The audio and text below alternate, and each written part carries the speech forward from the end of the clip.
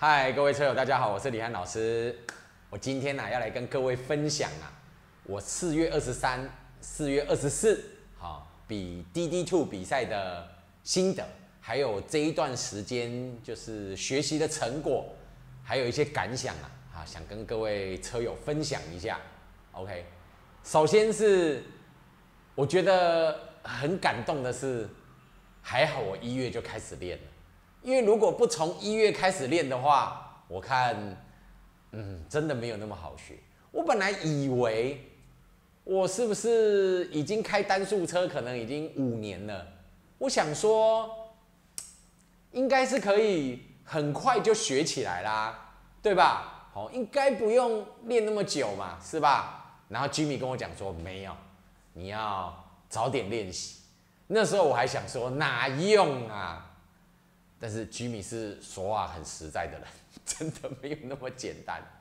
哦，我今这一次去比赛啊，哦，里面比赛的车友，哦，可能都已经练习了有几年了，对吧？哦，那我真的把事情想得太简单了，哦，真的是太简单了。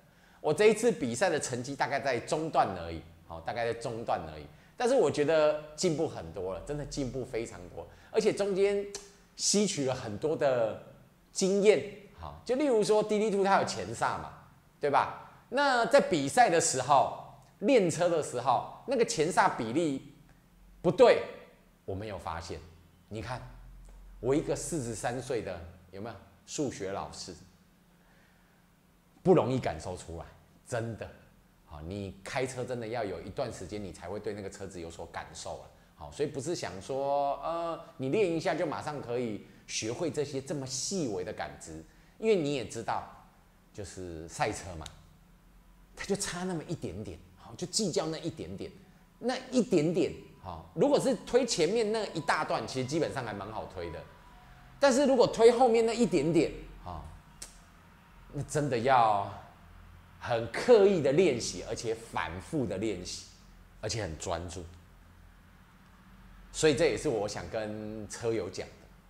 如果你今天想要从事赛车的话，我劝你尽早、尽早进来，啊，你才会学到越多的东西。因为它东西需要累积的，而且需要刻意练习。那我觉得我现在反观，啊，我在整体的程度里面，我觉得我算真的已经算进步很快了。但是我进步很快，并不是讲说哦我的资质有多好，其实不是。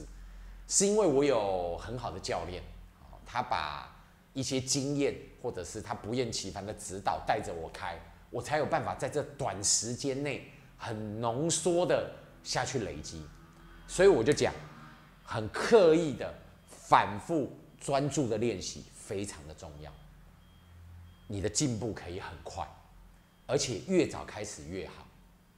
像我开车，我是比较。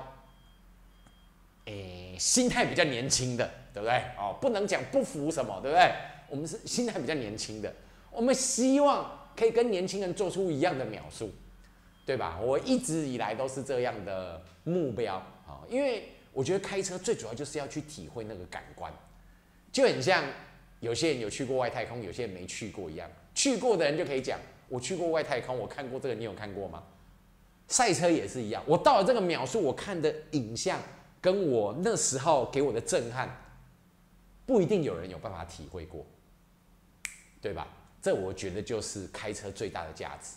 所以我一直心态都是很年轻的，我想要就是往前追的。OK，那我觉得这一次啊，就是除了就是刹车比例我没有感受出来，还有一次中间下场的时候，那个因为打档嘛，啊，稍微润滑了一下，那档位形成变长，结果。我起跑就就失败了，也就是已经很顺了，那呃，然后我开二档，呃，那档位卡在中间，没有进档，我当下整个就崩溃了。我说怎么会这样？然后当下后面车子全部都过去了。啊，人生嘛，对不对？是吧？你要有这些经验，你才知道哦，原来那些档线润滑之前，你要先拉一下那档位的深浅，不然我觉得刚刚那个。深浅就会进档啦，我就没有想说要再搬深一点这样子。你看，这些都是经验，然后再来还有到一个场地的练习时间。像这一次比赛这个场地，比赛前我去练了四天，呃，太少。但是我觉得以这个进步算很快了，我觉得真的算算蛮快了，我是很满意啦。我对我这一次比赛的分数我是打一百分，OK。但是一百分并不是呃都给我，我三十四分要给我的教练 Jimmy，好感谢他，就是很努力的指导，然后让我可以在很短的时间上手这一项运动，而且可以跑到群体的中段。我觉得这个真的很难能可贵，三个月而已，我觉得真的太厉害了。OK，再来，另外三十三分我要给的是我的技师团队。我当场的技师有 Jimmy 嘛，就一直在弄我车，阿志啊，齐炫是吧？然后别的车队的恐龙啊，小弟啊，这些顶尖的技师都在帮我服务，我真的觉得我超感动的。我觉得我的车子可以给他们摸到，真的是三生有幸。他们都会一直努力帮我把车子弄好，然后让我有最好的状态可以下场。我觉得这个非常重要。我们下去就是想要拿出最好的表现，然后这些技师都努力的呈现最好的工具给你，让你可以在比赛的时候实力完整的发挥出来。OK，那接下来我就来讲一下目标啊，因为我希望哦，下次比赛的时候可以再往前进个零点三，好，希望啊，好，下次比赛的时候可以再往前进个零点三。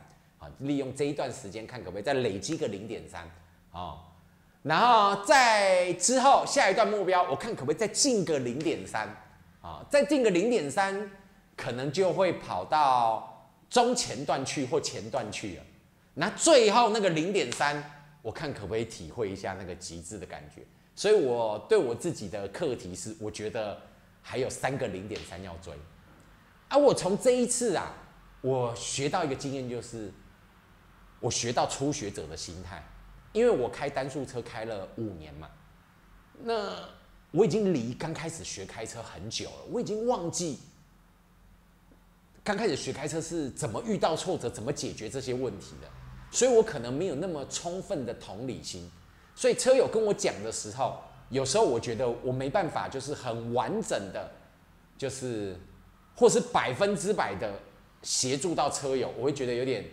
不好意思，但是经过这一次，我把我初学心全部抓回来，因为我真的是个初学者，真的没有那么容易学。刹车多个前刹，多个打档，哎呀，哇，这个多的东西可就多了，是吧？哦，你的进档、退档，哦，你的刹车又带有前刹，真的，我自从这样以后，我就。更会可以体会体会，就是刚开始就练习人他会遇到怎么样的挫折。放心，来跟着我，我们一起来度过这一段。我很有信心，我一定可以帮你度过这一段。啊，如果你真的更有心的话，我建议你也可以去西湖找居民，他真的是个很认真负责的教练，好吗？那不然，告诉各位一个消息，居民要上来台北了，他要上来北部了。他要在北部弄一个车队，OK，这时候北部的车友是不是你们就可以去找他学习？那如果你不好意思找他，你也可以找我。好啦，我只是讲，就是真的就是要刻意的、反复的、有效率、有效果、有方向、有目标的练习，才是进步最快的方式。不然你一下场就要耗费轮胎。耗费汽油，耗费引擎的磨损，耗费下场的费用。那如果你都没练到东西，那不是对吧？OK，所以这就是我一直跟车友提倡的，我们有效率、有效果、刻意的练习，非常非常非常的重要。然后等居民到台北的时候，确定的时候，应该就在近期了。我也会带我两个小孩，两个儿子先去试试看。因为我觉得我一直很愧疚的是，我如果六日都去比赛练车，我都没有时间，也不是，就是陪他们时间就变少了。那我都觉得我好像在成就我自己，啊，我没有在成就他们。我好像很自私。我这也是我学赛车最大挣扎，或者练车最大的阻碍。我其实不怕辛苦，我不怕挫折，我不怕开的比人家烂，这些我都不怕。我怕的是我没办法陪到我的家人。但是因为现在居民上来台北嘛，对不对？我就想要带我的小孩去试试看，让你看看我儿子有多厉害。这爸爸自己讲的不准啊！但是 好，因为我我我也不是想说培养他成为就是真的职业赛车手或是干嘛。我觉得这个是个很好的运动，可以让你去习惯这个挫折，领受这个挫折，在挫折中成长，而且训练这些耐心、刻意、反复、专注的练习。我觉得这对你的人生会非常的有帮助。包括我在练车，我觉得对我的事业，或是对我的学生，我觉得都非常的有帮助。OK，好，跟各位车友讲这个消息啊，哈，你可以期待一下，好吗？然后再来就是，我要感谢这一次比赛的那个单位，我觉得这个比赛真的越办越好，这个我真的要给个赞，真的是越办越完善，越办越好，真的有把台湾的实力一直不断的在往上推。我觉得这个就是个非常非常非常非常棒的比赛，真的很赞。然后我希望啊，就是这个比赛可以在台湾每个赛车场都办，哦，因为我听过一个前辈讲啊，哦，不能讲名字，等下讲名字又有问题。好，不会啦，这个是个就是有一次我练车，然后遇到就是这个国字国字哦，不好意思，国际知名赛车手，好，他讲他的技术为什么会。进步很多，就是因为他跑过世界各个不同的赛道，所以他就会经历很多弯道，他就会对车子的控制就会越来越了解。我有被他这一句话，嗯，深刻的认同，所以我希望这个比赛可以在台湾每个地方都办，每个赛车场都来办一下。啊，这样对我们车手的技术一定也是一个非常正面的提升，好吗？好，那下次比赛应该就在五月啦。好，五月听说可能会有比赛啊，然后我就希望那一次比赛的时候可以再往前进一点，然后进到最后，如果我领略掉，领略到台湾极致的感官，我再来分享给各位，好不好？我相信我我的资源，有人在帮我，我一定做得到的，好吗？学到的时候分享给你们，好，那就这样啦，啊，谢谢各位车友，拜拜，下次见。